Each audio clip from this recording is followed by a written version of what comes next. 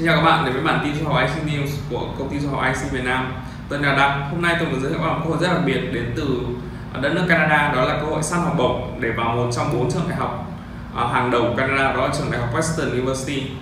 À, nơi mà cấp cho các bạn học bổng này đó là học viện Kings thuộc đại học Western. À, tại sao tôi nói cơ hội này đặc biệt bởi vì học viện Kings à, vốn không thường cấp học bổng cho các du học sinh quốc tế với mức nhiều đến mức như này uh, năm nay họ cấp với mức nhiều đặc biệt lên đến 44.000 đô cho toàn khóa học. Uh, từ 7.500 đô cho đến 11.000 đô cho từng năm học. Uh, đó là bởi vì uh, các năm vừa qua học sinh Việt Nam tại uh, trường Kings đã có biểu hiện rất là xuất sắc cho nên là trường muốn thu hút nhìn thêm nhiều học sinh Việt Nam nữa.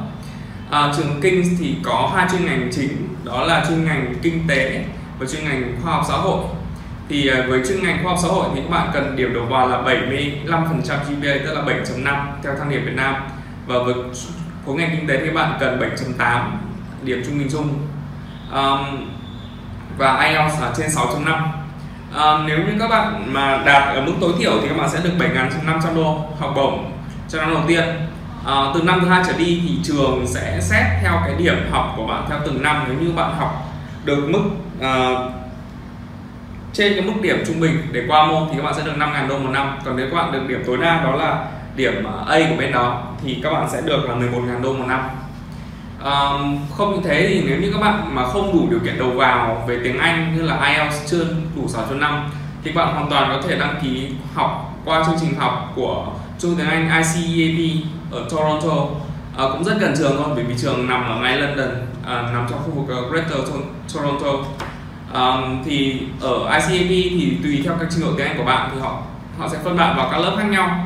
Uh, trong từng lớp đó thì các bạn sẽ học từ ờ, uh, 2 cho đến ờ, 8 tuần để đủ điều kiện nhập học vào chương trình chính. Và các bạn cũng yên tâm là chương trình nếu các bạn đi qua con đường này thì các bạn vẫn nhận được học bổng lên đến 44.000 đô. Uh, học phí của trường uh, Kings thì cũng không phải là mức quá cao so với ở bên Canada thì học phí của trường là từ 31 ngàn cho đến 38 ngàn đô Canada một năm.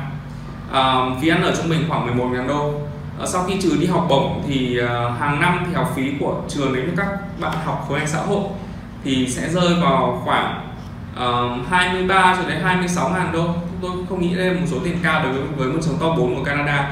À, đặc biệt là các bạn học ở Kings thì có cơ hội chuyển tiếp lên trường Ivy cũng thuộc Đại học Western thì Ivy là trường à, đại học về kinh tế hàng đầu của Canada thì đây luôn luôn là nơi mà do sinh ra rất nhiều các à, doanh nhân và các à, nhà kinh tế nổi tiếng ờ, ở đất nước Canada và cũng được Bloomberg đánh giá là trường dạy về kinh tế tốt nhất ngoài lãnh thổ nước Mỹ.